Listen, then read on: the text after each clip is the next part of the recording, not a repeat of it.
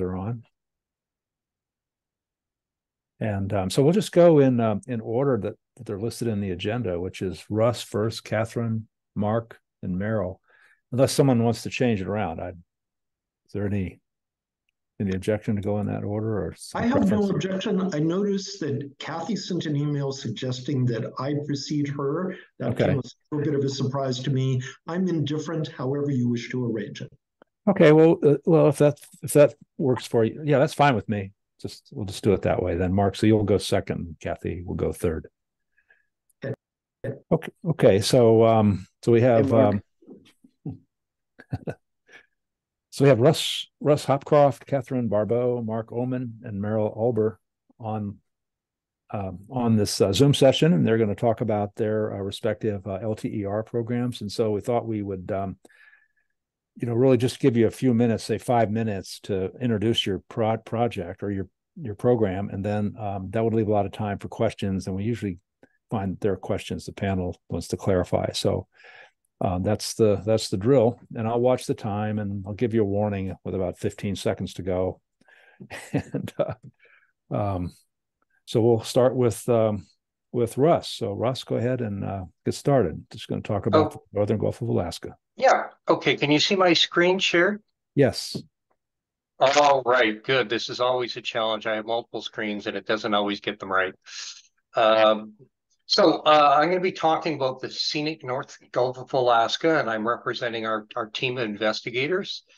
Um, so the NGA site is a sub in the subarctic Pacific. It's kind of bounded by the big red box you see. Uh, it's a highly seasonal environment. Uh, it has complex bathymetry and circulation. And we have been doing cruises at least twice a year for the last 25 years along a cross-shelf transect that goes through the middle of that box from the coast uh, all the way into the deep uh, high nutrient, low chlorophyll water. Uh, we've been using uh, a smaller vessel for much of that time, and since we became an LTER, we have access to the Sikuliaq, which allows a much greater range of science. Um, we have large interannual variation in this system in the spring. We have years that have been unusually cold, and with things like heat waves and El Ninos, years that have been unusually warm. So it shouldn't be a surprise that the communities respond to this variability. Um, I could talk about a lot of science. I'm going to try and just take a couple of highlights. Um, as you may or may not know, um, there's a difference in the way the phytoplankton is in uh, uh, ecosystems based on the seasonal timing, and that's characteristic of the NGA. We alternate between this large cell phytoplankton community during spring and a small cell community that dominates the uh, summer and fall. Uh, when we get unusually cold or unusually warm years, we kind of tip the normal seasonal cycle. So, for example, during the heat wave we had in 2019, we definitely didn't see our spring community. We saw a summer community uh, most of the season, which has implications for the transfer to higher trophic levels. Um, Mixotrophy, the ability for uh, organisms to act as both consumers and uh, primary producers, is surprisingly common in the Gulf of Alaska. Uh, there's a suggestion that it might be even more prevalent uh, during events such as heat waves, although the data is still kind of inconclusive on that based on confidence intervals. And when uh, we do have uh, years with less nutrients in the system, such as heat waves, you can actually see that um, the degree of mixotrophy is an attempt to compensate for a reduction in the normal flow of nutrients through the system. An important part of what happens then is that mixotrophy helps compensate for some of the normal change from a large cell to a small cell community by creating larger packets uh, during the time of year when we wouldn't have phytoplankton available to supply uh, the metazoan zooplankton with large particles that they prefer to graze on. Um, in terms of the variability in our zooplankton communities, despite great, great variability in the spring phytoplankton blooms, uh, zooplankton biomass to me is surprisingly consistent across years. Uh, there's only about a fourfold range in the biomass that we see for the spring bloom, uh, and about a twofold range of what we see in the summer. And this suggests that uh, even though at the species level the changes can be pronounced, the system's surprisingly stable, and we think it's functional redundancy, complementary uh, behavior that stabilize the resources in this system to, to higher trophic levels. Um, we, with 25 years of data, we're now able to show that there's some pretty strong linkages to climate indices that, and these climate indices drive or reflect the environmental variability in this system. Uh, for example, we can show that both in the spring and in the summer, uh, the PDO and secondarily uh, El Nino Southern Oscillation uh, can be a big driver of the changes we see in the zooplankton communities. In fact, they can explain up to about two thirds of the variability that we see in zooplankton biomass. Um, now to the questions that were specifically asked, the challenges with observation programs, and I presume these are going to be common across some of the other sites. Um, complex ecosystems require uh, large multidisciplinary teams with a large associated labor cost to study them. And NSF would argue with large ship costs to support those efforts. Um, there's this trade-off between funding staff to maintain long-term data quality and consistency, particularly for things that involve species level identification, and funding students to provide that training and education aspect that could be inconsistent in terms of the quality over time. There's mission creep. We constantly are talking about things we'd really love to do that we try to do that we don't have funding for. Some of that is driven internally, and some of it is driven by things like the review process or the trying to collaborate better across sites, make things more equivalent. Um, okay, if you could, consist- you could wrap it up, Russ. Oh, I didn't realize you'd done that, but Okay. Yeah, it goes fast. consistency of infrastructure, uh, shifting expectations from students of early career scientists, um, challenges with data sharing, instrument based. Uh, oh, I'm already at six. Sorry. Um, instrument based measurements, uh, data generated uh, re can require a considerable amount of time. Uh, I think maybe it's just faster if I just click through these. Um, yeah, maybe get the conclusions up there. Future needs. Um, I'm sorry, I rehearsed this and I must have just embellished too much. Um, so I think that was the last slide. Okay, well, thanks, and we'll hold the questions oh, till no. um, all, everyone talks. One more, one more. Okay. There we go. Sorry.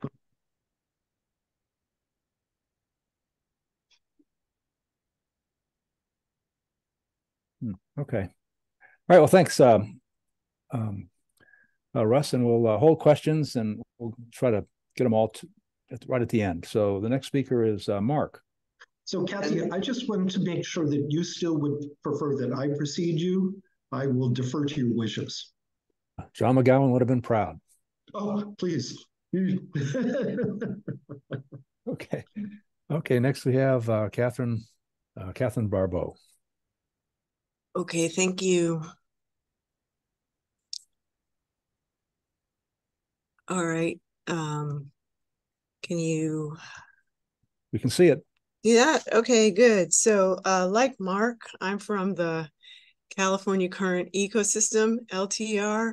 We are a eastern boundary upwelling uh, region. And so uh, this is one of the, an example of one of the most productive regions of the world ocean, strongly seasonally driven by uh, circulation patterns that cause upwelling of cold nutrient rich waters uh, off of uh, Point Conception in California, um, supporting uh, phytoplankton blooms and, and associated uh, rich productivity at higher trophic levels. Um, and uh, CCLTR has been running since 2004. And this site is also the site of the much longer California Cooperative Oceanic Fisheries Investigations time series, which we uh, are very fortunate to be able to collaborate with. So, uh, like Mark, I just have uh, three main points that I want to make in my presentation. Uh, one is that ocean LTERs uh, by their nature as ecologically focused time series, uh, ocean uh, ocean time series provide a unique opportunity to understand feedbacks between changing ecosystems, biogeochemistry, and the marine carbon cycle. Um, this is uh, from a recent uh, publication, Nature Communications, Stukel et al. from CCLTR, uh, showing our ability to uh, create one of the most detailed budgets of the biological carbon pump in the world ocean uh, using our uh, series of process cruises from 2004. Stukel and collaborators were able to actually budget out different components of the biological carbon pump in our region, the sinking particle flux, the active transport flux related to uh, grazers and fish, and also the physical flux uh, that moves particles uh, out by uh, circulation forces.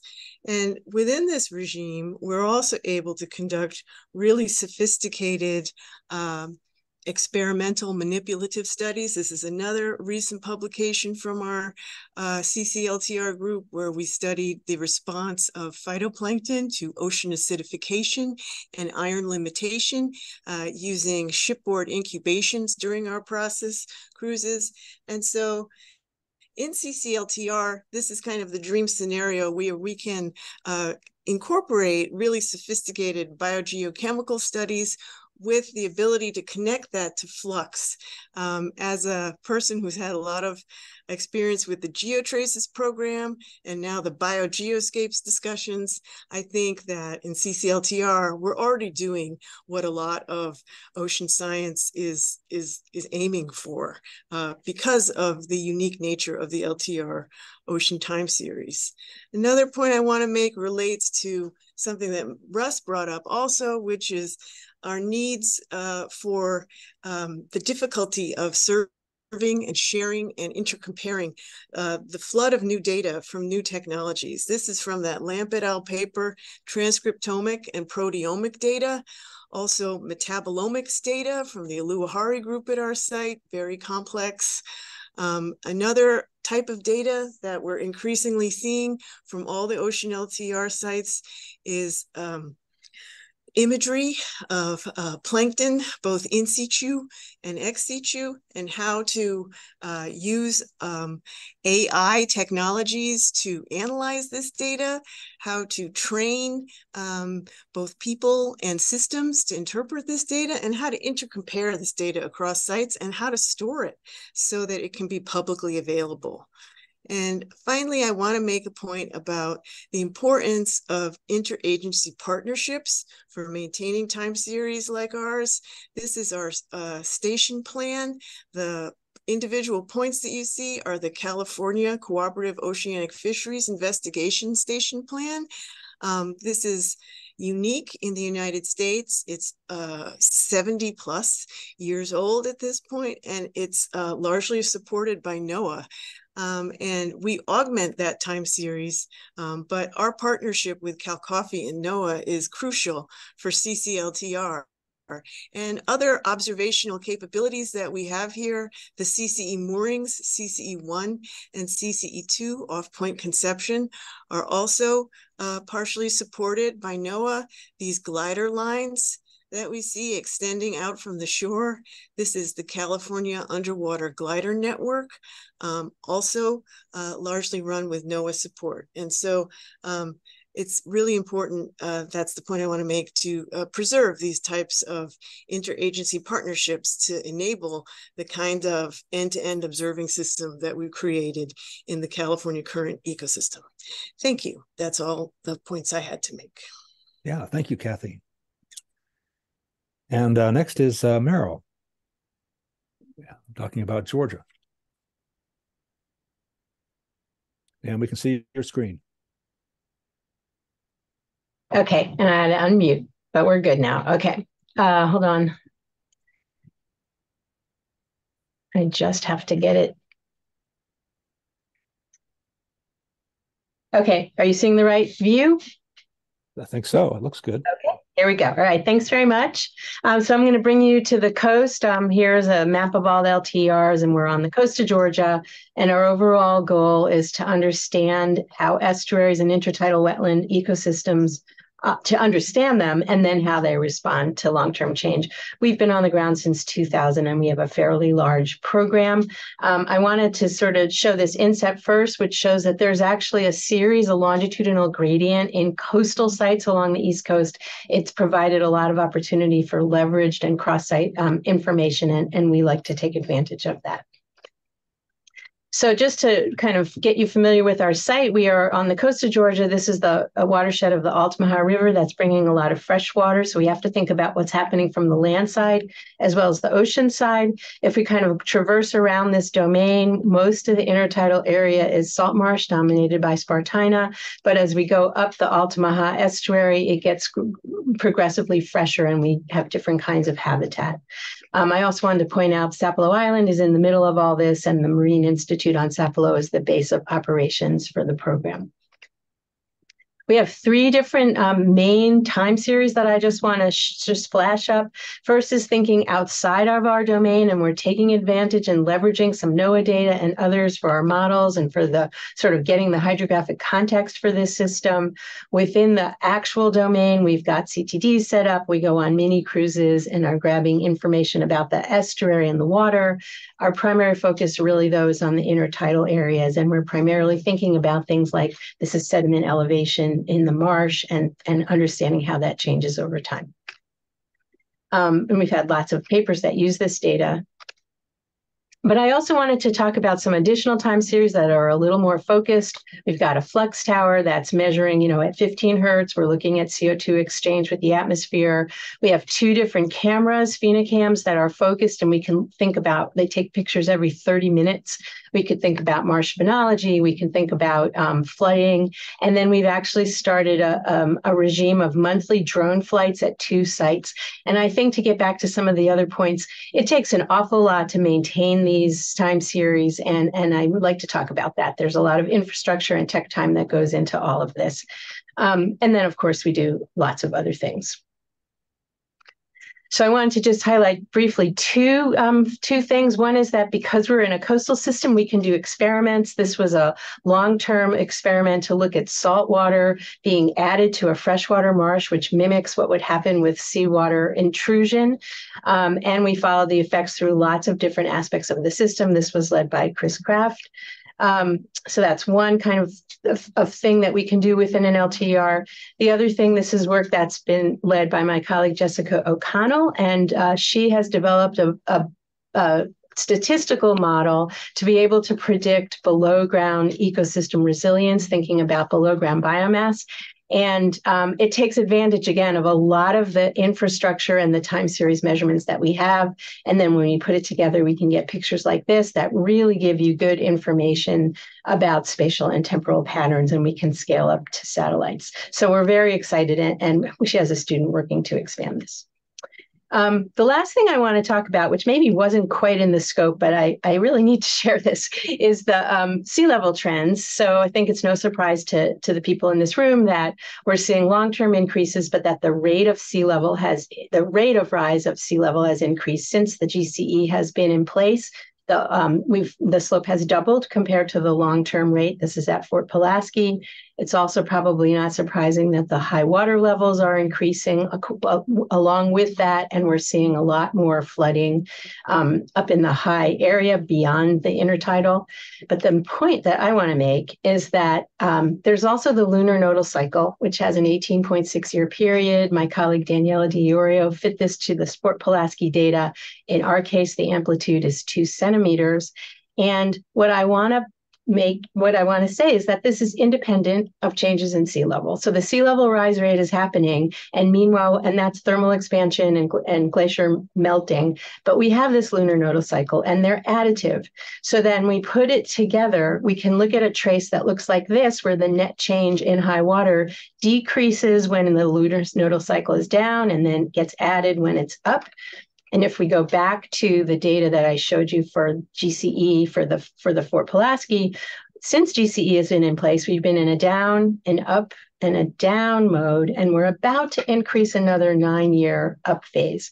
And so we're poised in this long term series to look at this. And I um, I feel like people maybe don't realize this is this is global. This is a paper um, by Thompson that did this calculation and thought about the amplitudes and the the, the threshold times for lots of different um, tide gauges around the country. So that's all. Thank you. Okay, thank you. And um, I think if you uh, uh, raise your hands on on Zoom, then I can uh, I'll call on people to, to ask uh, ask questions. And Kelly, keep an eye on on the hands as well, because if I miss somebody, yeah. let, let me know. Okay, Mona, go ahead. I think Ajit came first. Oh, all right. See, I, I, I didn't see that for some reason. Go all right. Go ahead, um, I, I, this is uh, picking up on Russ's uh, uh, point, but it's a question to all of the people who uh, presented today. Um, in terms of training students, um, can you say anything at all about the number of PhD students versus master students and who's fitting into that um, trained population that you're looking for? Um, I don't know if I was articulate in that question. I'm happy to repeat, but I think maybe you get the question I'm asking. Um, yeah, I mean, it's a mix of both. Of course, it's much easier to commit to taking a master's student than a PhD student. PhD students do provide better continuity and and tend to produce more consistent data for a larger period of time. Um, my my point was was really we we have to balance where the where the money goes, given that the money in the programs is fixed and there's almost two competing competing needs of of maintaining data quality and and the training. Um, I guess I'm trying to find out if the the people that you need. You said the people whom you need to maintain that long term quality. The trained people that you need are they PhD uh, PhD holders or are they masters holders? Oh, most of the staff are masters holders. Um, if if that's what the question is asking. Right, because I'm trying to get at seeing if there's a match or a mismatch between whom we are training and whom we need. Anyway, yeah. With respect to CCE, Kathy, you may have the um, most current numbers of people we've trained, but I think, uh, first of all, we are we have disproportionately PhD students involved in the program, though a few master students. But a very important point from my perspective is it's not just the people who matriculate at Scripps, the students who matriculate at SIO where CCE is based, but we view our, our LTR site as a nucleus of research that tries to um, create opportunities for many other people, for many for scientists in other institutions, either other parts of the world, and, and that certainly includes students.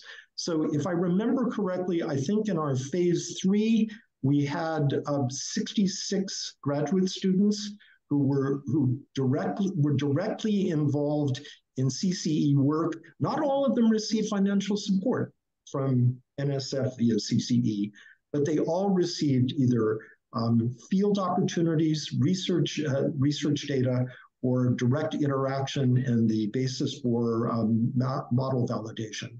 So I think this, this nucleus concept is a, a critical one for why the investment in, in LTR seems to me to be really well um, well allocated.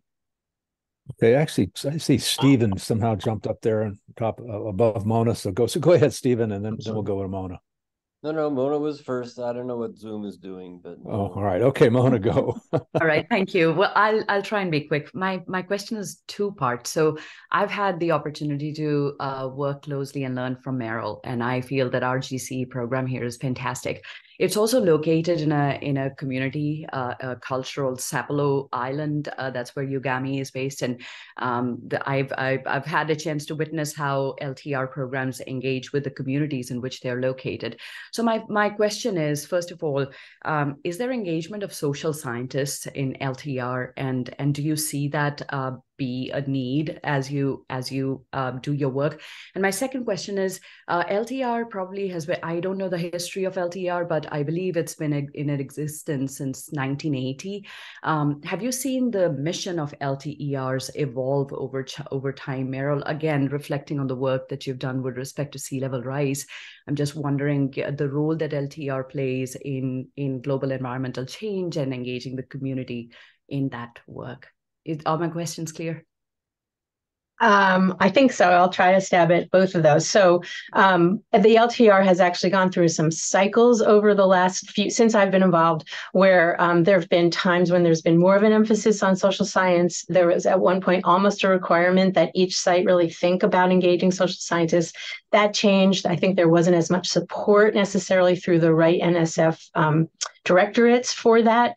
I also think that where it has landed is maybe a good place, which is when it makes sense. So when the questions make sense, when it makes sense to engage, then absolutely that's important, but maybe it's not required for every system. And I'll, I'll let the other PIs uh, think about or, or say their experience with that. Um, in our system, we have involved social scientists, as you know. I forget the other one.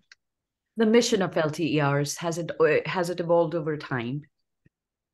So I don't think it's a it's really evolved at at the basis at the basic level. Um, there's decadal reviews. We just had another decadal review, and um, I think you know different program officers, different PIs put their spin on it. Um, but I would say that overall, it really hasn't fundamentally changed. I think there's been more or less emphasis maybe on the ecological discovery part of LTER um, placed on it by different program officers. Anyone else want to jump in from the LTER groups?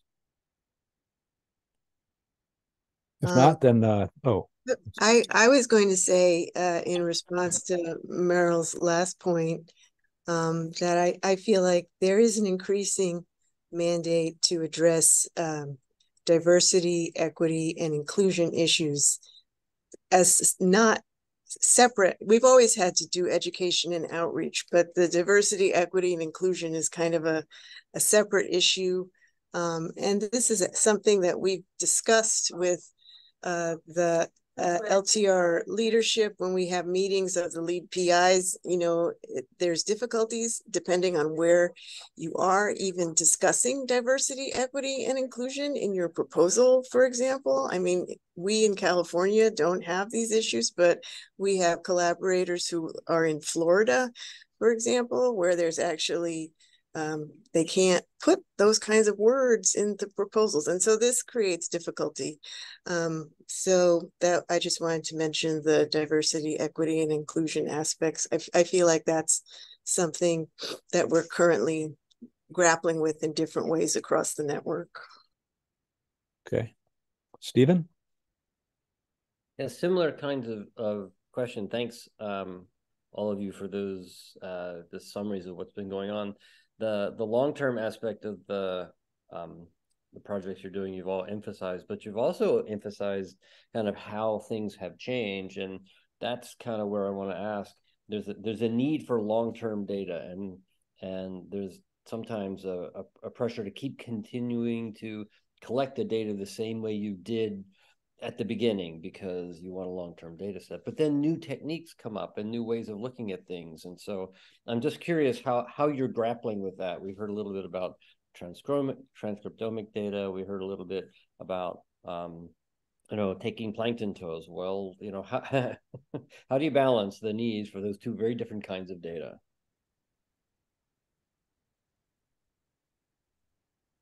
Someone want to well, jump in? if uh, if I may, my late colleague Paul Smith said about long time series is um, the time series are long, but as a consequence, they're old. and right. this presents this this restates the, your dilemma. And what we've tried to do in CCE is tried to be as forward-looking as we can when we uh, when we power, ramp up a new measurement program and make sure it's something that we think is worthy of sustaining to try to look forward as far as we can. But then there are simply times when um, methods become uh, obsolete or superseded. So the obvious point is we try to have extensive periods of overlap. And we've recently um, encountered that with a, we're transitioning from a much more uh, genomic per, to a much more genomic perspective. And uh, we initially began with HPLC and epifluorescence microscopy. And we will um, sustain the HPLC measurements for some period of time until we have some reasonable quantitative way to assess whether or not they're when and where they're comparable and when they're not. But you're going to keep counting thousands the same way. At, at this point, um, I would love to have an eDNA approach that would give me the quantitative data that I would trust and would be comparable. I don't see it right now, Steve. I don't know, maybe you do. Um, I see it, it, things may develop in that direction, and we wish we will push and and look for these opportunities, but we will not um, something as important as that you follow since it's a species specific time series. We will, at this point, we will not compromise that, but we will try to accommodate innovation. Yeah. Okay. Um, let's see, Rick, you were next, and then you went away, and then you came back. So why, why don't you go ahead? Yeah, thanks. I I hiccuped there. Um, also, Steve asked most of my questions, so I'm just going to ask the second part first. It's nice to see all you folks again. Um, so, Mark, you provided a, a, real nice answer to Steve's question. And given all the other LTERs, um, I wonder about the interoperability and the intercomparison between the LTERs. And for example, would someone running the other one up in, say, Gulf of Alaska or you know Heidi Sosik running ours at Woods Hole, um, how would their answers be um, different within the tolerance of you know each LTER of course has its own strengths and particular foci, but in the sense of if someone were to try to be writing a synthesis of long-term ecological change in U.S. waters, you know, 50 years from now, looking back at all these data sets, how would the people be able to have that interoperable or inter LTER sense of a you know a synthesis look? and how do you folks all communicate these approach that like mark takes versus the approach um, you know gulf of alaska takes or someone else takes i'll let someone else take a stab at it i i have an answer however mm-hmm. yeah i'll i'll go in fact we have a synthesis proposal going on right now where we're looking at the data sets from the different lter sites in a similar way the bottom line is that we're looking often at the trends in sites, and the trends don't require that things are done identically. The trends are going to emerge regardless of the fact that we're measuring things a little bit differently. Um, it would be problematic for each time series to try and standardize on somebody else's methodology because then you'd run up into an even bigger problem than than changing yeah. whether we're using molecular versus collection based. Yeah. So Okay, uh, I think uh, Brad is next, and then Peter. Thanks for that answer, folks. And my question is in the context, thanks everyone, in the context of if you wait long enough, your question will appear in some form or another. So I think I'm asking a different version of the same question. And, and it really goes back to thinking about 40 years ago that our perspective when this program began about uh, the interconnectedness of marine ecosystems and the role of climate and climate change in the ocean was very different than it is today. And I just wonder about two things around the structure of the existing program, whether we have the right scales for LTER measurements, and then the same question about whether we're getting an integrated perspective. Merryl mentioned the point about looking at linkages along the, the coastal kind of uh, waveguide uh, of the Atlantic, but whether we're putting enough effort into that kind of integrative scale And then that feeds back to the question of whether the LTER structures themselves are set at the appropriate scales, given our present understanding of how these ecosystems interconnect. So that's a set of kind of related questions, and I'm not sure who wants to respond to this. Leave it to you. Any takers? Well, I'll give it a, a shot. So you're absolutely right. There's different times, there's different spatial scales on, uh, and I would say it feels like the the newer ones and the ocean ones are larger right? And so, you know, the Northeast Shelf is a very large domain um, compared with where we are. We're, we're more coastal, but how we think about it. I would say though that there are there's regional looks, and people do even if I show you my map, we end up collaborating and thinking about things depending on the question we're asking at at sort of all kinds of scales. So it may um, it, the the boundaries are a little bit mutable. I would say. I mean, not exactly where our observations are coming from, but our inferences end up going. I mean, we end up kind of thinking about things well outside our own exact geography. Does that make sense? My take is that the whole structure of the US LTER uh, framework is to address ecological phenomena on lar- larger space and time scales. With and that was part of the argument for its for its genesis, that there are um, funding mechanisms to address shorter term perturbations to systems, and the, the three year grant cycle at NSF, for example, is, is pretty well tuned to that, but not so much to the longer space and time scales. So I think with that generality in mind, I think LTER is um, is on the right track. And you know, that's not doesn't supplant smaller space and time scales. It's just it's a mechanism to support those when uh, other mechanisms can be supported other in other ways. With respect to the the question, Brad, about integrated perspective, I my assessment is that this is a continual tension. Um, we were funded to run a site and to do site, uh, site activity and to draw other people into our site there's always, this, this interest in going across site in the way that Merryl described on the coastal ecosystems on the East Coast. Um, uh, Russ described with the pelagic synthesis working group that's currently working very actively now. I think that we can we can and should do more. But there's also the, there's the U.S. LTER network, but then there's an international LTER network uh, the US actually founded ILTER, and there are now, I believe, 40 countries that have LTER programs. They can be interpreted a little differently in different countries, but we actively encourage sites to move not just to interact with sites, other sites in the US, US network, but other sites internationally, and to scale up. Yeah, good. Thanks. Um, Peter, you have a question.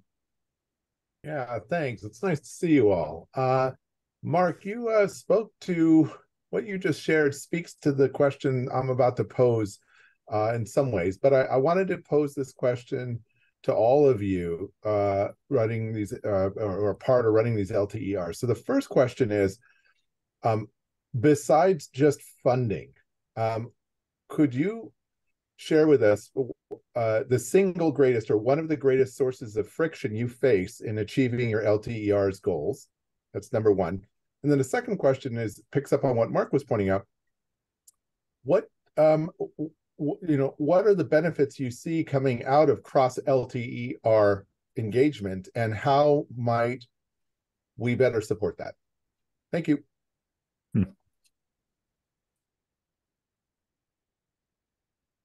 Oh, I, you, oh, somebody needs to start. Sorry. I, I could try to answer at least part of your question. I think one of the constant tensions that we face in as LTER sites is when it when we're writing renewal proposals is um, we're long-term time series. We need to maintain our long-term time series and address, um, you know, questions that are common across the LTER network. But we also need to be perceived as innovative. And so we have to balance um, this tension between long-term time series and also not appearing to do the same thing uh, year after year. But we can't continually add new efforts all the time either. So I think that's uh, that's uh, one of the challenges of maintaining an LTER site over time. Um, I'll, I'll let others comment. Yeah, and this is what I described as mission creep, where we're constantly adding new things that we think are important, but we really don't have the money to do it. Uh, I, I think the point I want to make about this is that, and this relates to several of the questions, we were conceived as trying to understand ecological processes as a network. What we're also doing, but maybe don't get credit for, is we're sentinel sites for looking at climate change, global change in ecosystems. And it's this, this dilemma of how much emphasis to put in both and what should be recognized better as doing, revising ecological theory, making a time series, or describing a time series from an ecological perspective of the changes that are, are occurring in it. Hmm. Uh, anybody else want to jump in? Uh, briefly on friction, I'd say resource allocation. Um, if you're a successful site and more people get interested and you're level funded, by definition, you have problems with resource allocation, and this happens. With respect to um, the benefits of LTER, for me, it's been really exciting to work with other ecologists who don't work on ocean ecosystems. I'm sorry, I don't mean to offend any of my pelagic colleagues, um, but we, you know, we have fora and we interact. For me, it's the it's the the aha experiences of seeing parallels in systems in boreal spruce forests or you know a tropical rainforest or a, a coral reef well that's a marine system um, or a, a, or a north temperate lake, where if you elevate the research question to a high enough level, a conceptual level, you see a lot of common interest and common uh, common ground. If you're down in the weeds talking about this species or that species, then um, then you, you you don't have the basis for interacting. But at the conceptual level, I found it very stimulating to interact um, with people who were working on on similar concepts, even if different organisms. And one of the, I think one of the most fun papers I've been involved in in the last 10 years was an LTER cross-site synthesis on state changes, and it changed my thinking about our CCE LTER program. And I just want to add, I agree with what everyone has said. I wanted to add that it seems like sustaining those time series and keeping up the sort of quality control when you're always in training new people, always in training new students, new technicians, um, that is really a challenge. And you know, you want it to be um, sort of keep everyone oriented to the project, understanding where we are doing. So, so it's really I find it takes a lot of effort. It's it's and it kind of almost runs through the PIs when PIs turn over. And so, you know, it takes a lot to kind of just sustain it so that everyone is on the same page um, of the program. But I will agree with Mark that there is, uh, the, and I, well, especially in our LTER, no one is getting very much money. They don't have a lot of time for this. And so they're all doing it because they're committed and and like the team, like they want to be involved in this integrated effort. And it is usually different um, than the other funding that they have. Thank you all very much. I had a, I had a question for Russ. Um, Russ, I recall back uh, late 70s 80s there was a study of the bering sea. And i think one of the main conclusions of that is is that the, uh, spring bloom there was not consumed much by zooplankton but most of it just went to the benthos. And i wonder if that's i, I was looking at your flux or i look, was looking at kathy's flux estimates. And is, is that what's going on in your opinion in your area as well? Is that is that what you think that there's a well, rich benthos? by definition we have a spring bloom because the phytoplankton escape grazing pressure Mm-hmm. So, so you know, the question is really to what degree, not not not is it lost, but to what degree is it lost? And I, I don't think we have a good handle on that. There's clearly a lot of transfer in our system to upper trophics.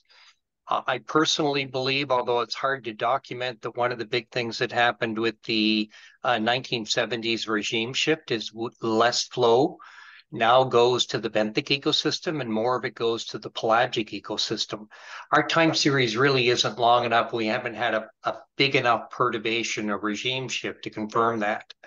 So, uh, and we've only been starting to measure flux specifically on cruises with the beginning of the LTER. So it's it's a little hard for us to get a handle on that. But so I think it's it's really a question of the degree, uh, uh, how much how much more or less are we capturing than what we used to? And I would argue we're capturing more in the pelagic than we used to, but still, you know, we have rich demersal fisheries. So that alone suggests that still a fair bit getting down. Okay. Uh, Ajit, you're next, and then Josie, and then um, Layla. Thanks. Um, Mark, you, I think, answered the question I was going to ask in a positive in a very nice way. But I want to re-ask that question slightly differently, which is given, at least based on my bias from 10 years ago when I was at NSF, the sense that LTERs are coming out of the biodirectorate and have a very much of a terrestrial sort of an origin in some fashion, with a whole bunch of marine uh, LTERs being added along the way. Um, curious to know how much of um, what are the challenges of doing this in the oceanographic context minus the ships, I mean, minus the resources, I mean, what are the other kinds of challenges that you're basically dealing with because this is in the ocean as opposed to on land? I would say in the pelagic ocean, the chief challenge is that it's so hard for us to manipulate.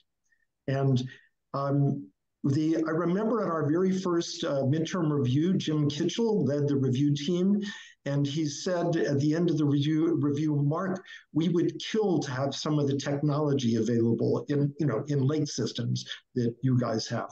And I said, Jim, we would kill to be able to manipulate the ocean the way you can manipulate north temperate lakes.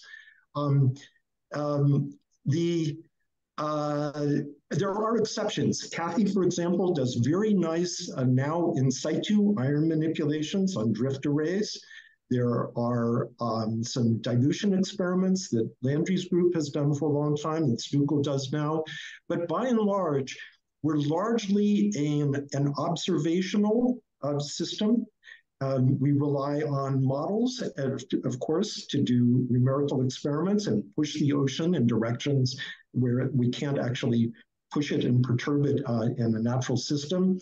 Um, I think there might be room for some, you know, larger scale mesocosm work, um, which is much more in vogue in Europe still than it is in the United States.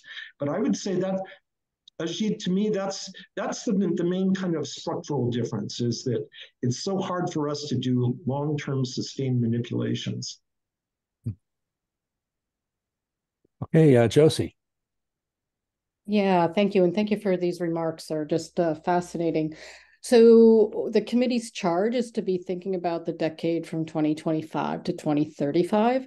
And so that's looking out next 10 years. We're already seeing a lot of changes in the coastal ocean and the deep ocean. And I one question with the LTER um, network, which I just think is, uh, you know, fantastic, is what do you see as some of the gaps that exist now that we should fill in order to be uh, tracking and understanding the ecological changes that are going to be happening in that 25 to 35 area. And then I had a secondary question about interagency cooperation, which is a big uh, interest and I will say perhaps a frustration of mine. I have a sense uh, when you were talking about the California interagency, I think that's probably a bottom up. That's because you make those connections at the local and regional level and you're building that coordination. And I'm kind of interested in how do we help start supporting that more from, you know, the federal agencies down. But I could be mistaken, but most of the interagency successes I've seen is because people at the regional and local level build those networks together. So thank you.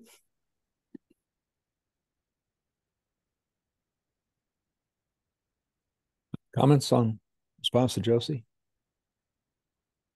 So the rate of sea level is going to increase, uh, not the rate, but the high water is going to increase in the next decade everywhere. Um, and so I think that's really going to put it front and center, and for in a, a, lot of coastal people well, will sort of be made aware of that. Um, I would say there's a real. We've always talked about opportunities. We're, we're locally with uh, co-located with a National Estuarine Research Reserve. Um, we're the only LTER that is, but there's those NERR sites up and down the coast give us a lot of leverage to be and we do definitely work sometimes with them but it would sure be nice to think in a more um, uh, strategic way about interactions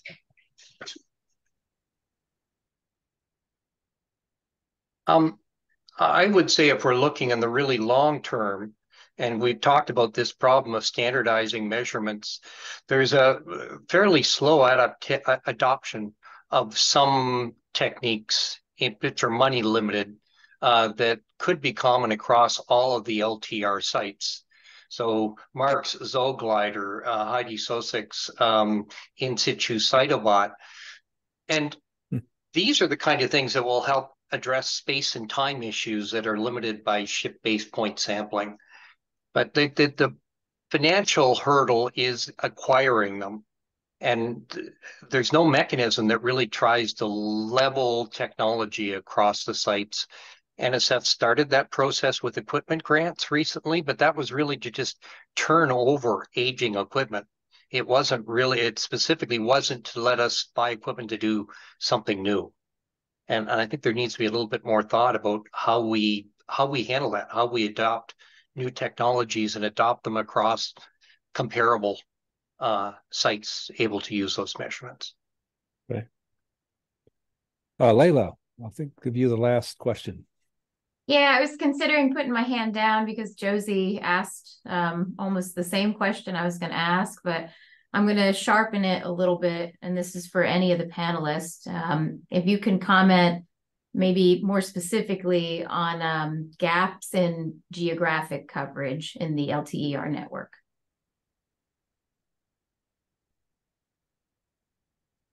If you perceive any.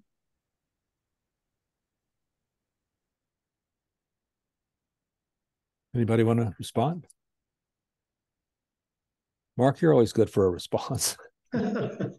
well, I to me, when I hear gaps, to me, uh, the the tool gap is to me uh, the really pressing one. I alluded to to coupled ecosystem models. I mean, um, Earth system models that are coupled to sophisticated representations of natural systems.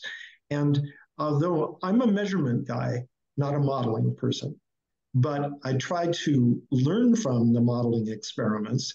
And I'm very frustrated, A, that I don't think models are where they should be at this point, you know, 20 plus years into the 21st century. I think there needs to be a lot more intellectual horsepower that goes into redefining modeling approaches. The second point is that the current version of model, what I see is that modelers depend on measurement people for parameters. So there's one-way flow from you know from empiricists to modelers, but there isn't enough attention paid in the measurement community to sensitivity analyses of modeler of models and what the modelers really need to know. I think there needs to be a much better, deeper dialogue that goes two ways um, between measurement and modeling people. And then the last point I already made, which was I think the model validation in the pelagic ecosystem modeling world, this is not so applicable to you, but it's that there's a lot of attention paid to the open ocean, um, which in biogeochemical terms is very important, but the, the coastal boundaries, by which I mean the first 500 kilometers from the coast into toward the uh, toward the open sea, um, that is often very poorly represented in the current generation of some of the best models. And so I would point to that gap is to me a really crucial point for in the near term and the medium term. Hmm. Layla, are there uh, LTER sites in the Gulf of Mexico? I, I can't well, remember the map. Merryl put up a nice map and there weren't any down there. Um, and the reason I asked the question was not because of any particular geography missing. It was really because of Russell's point that LTERs function as sentinel sites. Yeah. Well, it is it is a gap, it looks to me, and, and it's sort of strange because there are so some very unique environments in the Gulf of Mexico, huge, huge wide shelves off Florida and Mississippi River and so on. Anyway, I um, I really appreciate all the speakers and um, quite interesting discussion, I thought, and we learned a lot. And um, Russ, did you have one quick comment before we sign off?